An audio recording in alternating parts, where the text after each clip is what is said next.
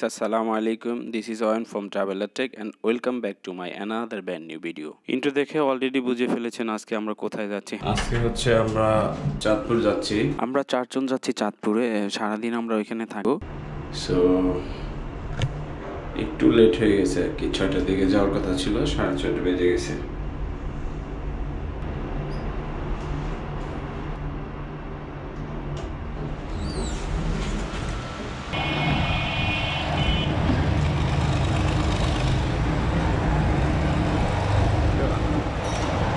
সামনের রিক্সায় দুইজন আছে। আর এই হচ্ছে আমরা দুজন। আমরা সানগ্লাস নেন নাই। হাই হাই যাও একটা সানগ্লাস আছিল আমি আপ এই কি রে ভাই কি হাই হাই একদম সরে গেল হাই সিএনজি নিয়েছিলাম সিএনজি ঘাটবার পর্যন্ত যেতে পারতেছে না। কারণ অনেক জ্যাম দেখতেই পাচ্ছেন। এই কারণে আর কি আমরা নেমে গিয়েছি হালকা হেঁটে যেতে হচ্ছে। সো পুরান ঢাকার নাম শুনলেই আপনাকে একটা জিনিস মাথায় সেট করতে হবে। সেটা হচ্ছে পুরান ঢাকা মানে জ্যাম।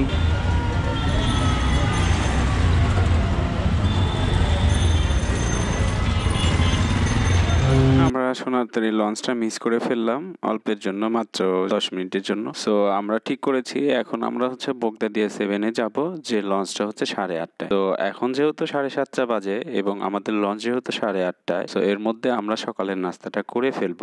যদিও আমাদের প্ল্যানিং ছিল যে আমরা সকালের নাস্তাটা লঞ্চের মধ্যে করব। যেহেতু আমরা এক ঘণ্টার মতো সময় পাচ্ছি, সদরঘাটের ড্রোন শটটা এখন আপনাদের সাথে শেয়ার করব। আর এই যে দেখতে পাচ্ছেন যে লোকগুলো হচ্ছে ডাকাডাকি করছে, এটা হচ্ছে সদরঘাটের কমন সিনারিও এরকম আসলে আপনারা দেখতে পাবেন। সবাই যার যার লঞ্চে ডেকে ডেকে উঠা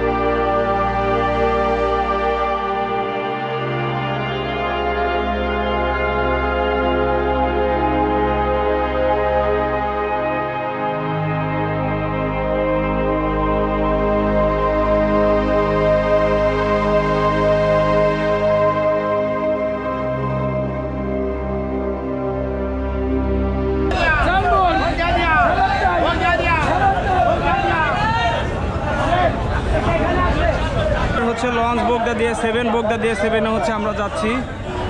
রানীদেবী বিমানের ছোঁয়া বোগদা দিয়ে সেভেন ডাইরেক্ট সাড়ে আটটায়। রানীদেবী বিমানের ছোঁয়া ডাইরেক্ট সাড়ে আটটায়।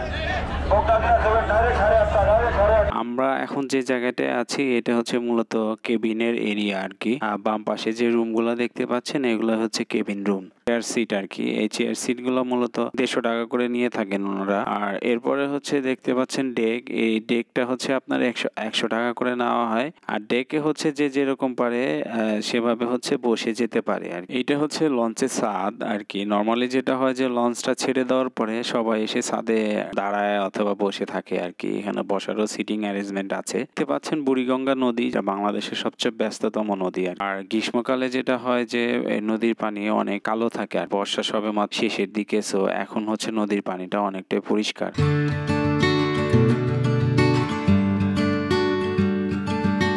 চাঁদপুরের উদ্দেশ্যে আমাদের লঞ্চ ছেড়ে দিছে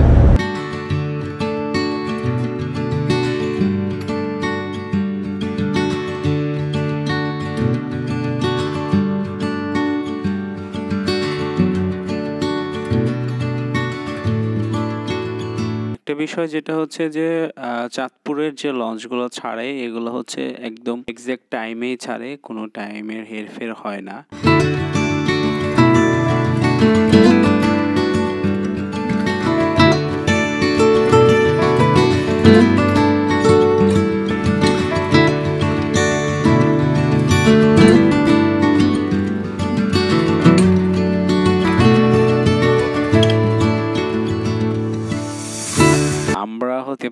সামনে এই হচ্ছে বুড়িগঙ্গা ব্রিজ আর কি আর আমরা হচ্ছে এখন বুড়িগঙ্গার ব্রিজের নিচ দিয়ে যাচ্ছি আর কি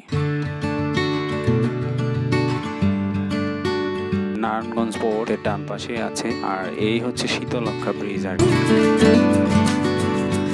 এই হচ্ছে মুন্সিগঞ্জ ঘাট। মুন্সিগঞ্জ কাঠপুর্তি ঘাট তাই না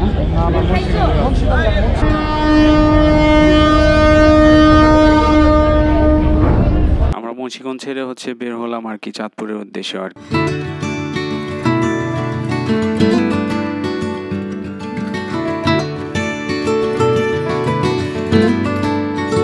আমার সাথে কে কে এসেছে আর কি। চলেন আমরা হচ্ছে ওদের সাথে পরিচয় হয়ে নিই। সিজান সাইফুর রহমান সিজান। হচ্ছে পারভেজ। পারভেজ। এরপরে সাজ্জাদ। আমরা যাচ্ছি চাঁদপুরে আমাদের সাথে যাচ্ছে আমার বন্ধু এবং ভাই ব্রাদার মামা টামা সব মাস্তি চিল হবে। আর আর কি হবে? ইলিশ খাওয়া হবে? মূলত আমরা আমরা মামার জন্য মেয়ে দেখতে মূলত ওইটা হলো মেইন কাজ। মেয়ে দেখতে যাওয়াটা হলো মেইন কাজ।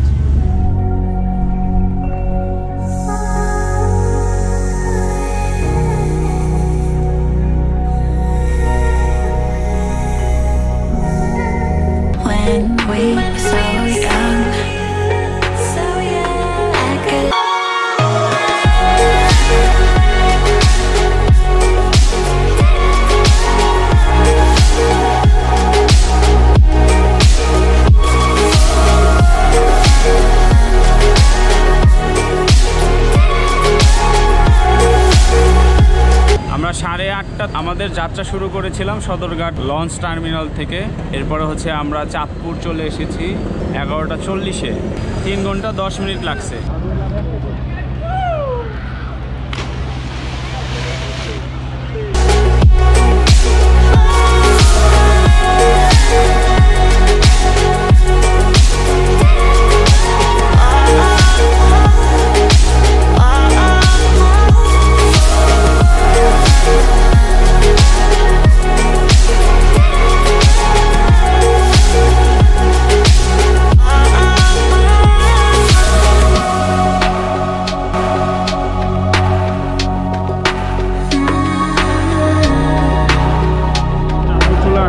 চাঁদপুর নেমে পড়ছি।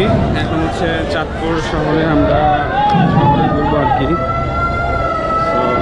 এখন অলমোস্ট হচ্ছে বারোটা বাজে বারোটার মতো। আর রোদের তাপমাত্রাতে এত বেশি আমার মাথা থেকে ঘাম ঝরতেছে। এখন ঠান্ডা ছাড়া কোনো কিছু চিন্তা করা যায় না। সো আমরা এখন ঠান্ডা কিছু খাব। সো আমরা এখন যাব হচ্ছে অন মিনিট আইসক্রিম হ্যাঁ কালীবাড়ির মোড়ে এখানে কালীবাড়ির মোড়ে।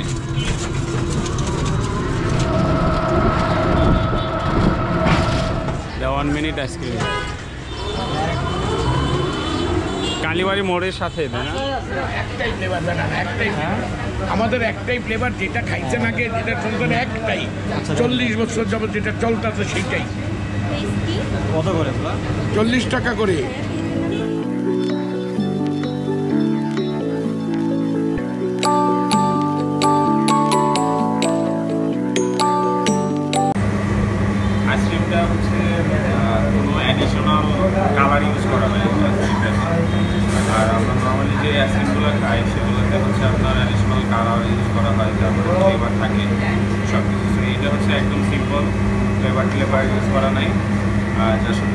হয়তো বা দুধ ইউজ করছে এখানে আর এর পাশাপাশি হচ্ছে আপনার স্যাকারিন তো কিছু ইউজ করছে আর হচ্ছে সুগার দেওয়া আছে। এই দুটা সেই তিনটা এলিমেন্ট দিয়ে হচ্ছে আইসক্রিমটা আর এটা হচ্ছে ওয়ান মিনিট আইসক্রিম টেস্ট কেমন?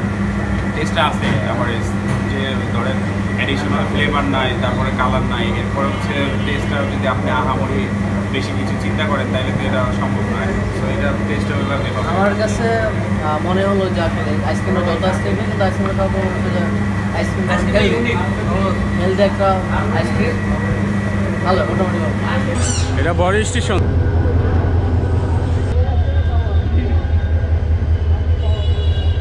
আমরা হচ্ছে এখন বড় ব্রিজের উপরে আছি। আমরা হচ্ছে চাঁদপুর ডিগ্রি কলেজ যাচ্ছি। ওইখানে নাকি একটা ঘাট আছে। ঘাটটা নাকি অনেক সুন্দর সেটা দেখার জন্য। কিছু বলো তোমার এই জায়গা সম্পর্কে আর কি।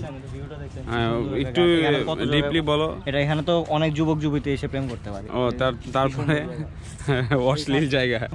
নদীকে সাক্ষী রেখে প্রেম করা যাবে। এই মাঠে ছোটবেলায় আমরা কত খেলতাম। অনেক খেলছে মাঠে? হ্যাঁ, কি খেলছো এখানে? হ্যাঁ? এখানে কি খেলছো? ক্রিকেট ফুটবল হকি সব চলছে। হকি খেলতে পারো তুমি? আরে সব খেলা আমরা- আমরা সব টাইপের খেলা এখানে খেলতে পারব। তাই?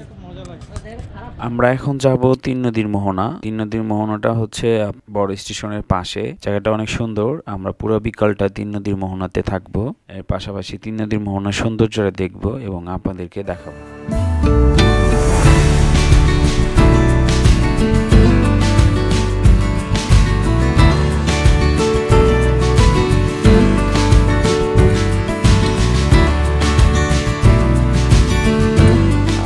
যে দেখতে পাচ্ছেন, এটা হচ্ছে এক ভাস্কর্য। এটার নাম হচ্ছে রক্তাক্ত ধারা। এটা মূলত উনিশশো একাত্তর সালে শহীদদের স্মরণে করা, আর এটার উদ্বোধন করা হয় দুই হাজার এগারো সালে। এই দেখতে পাচ্ছেন, এটাই হচ্ছে তিন নদীর মোহনা। মূলত তিন নদীর মোহনা বলা হয়, কারণ হচ্ছে এখানে তিনটা নদীর মিলনস্থল। আর ডাকাতিয়া নদী, যেটা হচ্ছে আপনার নোয়াখালী হয়ে এসেছে আর কি এর পাশাপাশি আছে মেঘনা নদী এবং পদ্মা নদী। সো এই তিনটা নদীর মিলনস্থলই হচ্ছে এই জায়গাটা। So, এটা হচ্ছে মিনি কক্সেস বাজার যাওয়ার ঘাট। এখান থেকে আপনারা চাইলে নৌকা রিজার্ভ করে মিনি কক্সেস বাজার ঘুরে আসতে পারবেন। আমরা হচ্ছে আজকে মিনি কক্সেস বাজার যাচ্ছি না কারণ এত বেশি গরম অলরেডি আমাদের অবস্থা খুবই খারাপ। এই পাশটা একটু গরম বেশি মনে হচ্ছে ওই পাশে একটু গরমটা কম। এটা হচ্ছে মেঘনা ডাকাতিয়া নদীর মোহনা। আমরা এখানে পেয়ারাটা দেখে ফ্রেশ লাগবে এর লেগে নিলাম। পেয়ারা মাখানো খাচ্ছি।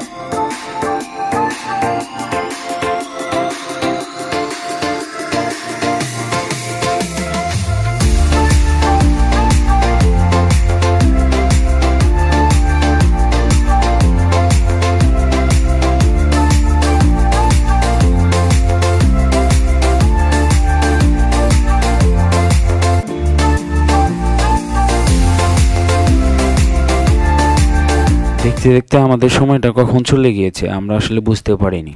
সো আমার সাথে যে তিনজন ছিল, ওরা হচ্ছে লক্ষ্মীপুর গিয়েছে, আর আমি একা ঢাকাতে ব্যাক করছি। আমরা সাড়ে সকাল সাড়ে আটটায় সদরঘাট থেকে যে লঞ্চটাতে উঠেছিলাম, বগদাদিয়া সাত এবং যাওয়ার সময় আমি সেই লঞ্চটাই পেয়েছি। এখন হচ্ছে আমরা ঢাকা ফেরত যাচ্ছি।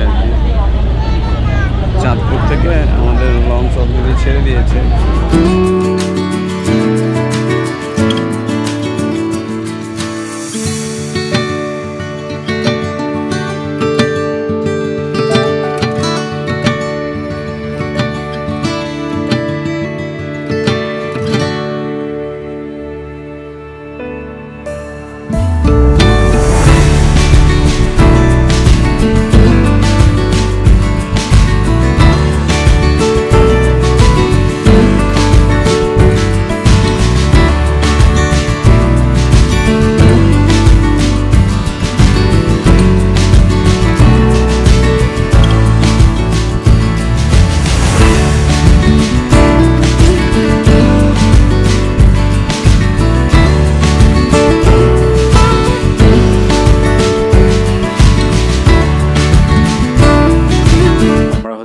মাঝ নদীতে আছি আর কি। আর এই যে দেখতে পাচ্ছেন, সূর্যটা অস্ত যাচ্ছে। আর কিছুক্ষণ পরে সন্ধ্যা ঘনিয়ে আসবে। সারাদিনের যে রোদ, রোদের যে হচ্ছে যে তীব্রতা, যে প্রখরতা ছিল, সেটা হচ্ছে এখন দেখতেই পাচ্ছেন রোদটা নেই।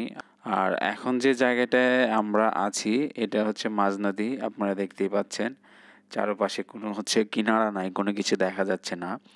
শুধুমাত্র মাথার উপরে সাদা মেঘ আছে। যেহেতু এখন শরৎকাল, শরৎকালে হচ্ছে আকাশে প্রচুর সাদা মেঘ থাকে। সো আপনারা অলরেডি দেখতেই পাচ্ছেন আকাশে অনেক বেশি সাদা মেঘ। যেদিকে চোখ যায় শুধুমাত্র পানি পানি আর পানি। সামনে কোনো প্রান্তর নাই। সো এ এক অপূরব দৃশ্য। নদীর চারপাশের যে সৌন্দর্যটা থাকে, সেটা অবশ্যই মনোমুগ্ধকর এবং ওইটা হচ্ছে অবশ্যই আপনারা উপভোগ করতে পারবেন যদি চাঁদপুরে লঞ্চে করে আসেন। দেখতে পাচ্ছেন এটা হচ্ছে রাতের বুড়িগঙ্গা। রাতের বুড়িগঙ্গা হচ্ছে, এটা আরও অন্যরকম সুন্দর। আজকের মতো আমার ব্লগ এখানেই শেষ হবে। নেক্সট টাইম হয়তো বা অন্য কোথাও কোনো একটা প্লেসে যাব। সেই জায়গাটা অবশ্যই আপনাদের সাথে শেয়ার করব। ততক্ষণ পর্যন্ত ভালো থাকবেন, আমার জন্য দোয়া করবেন।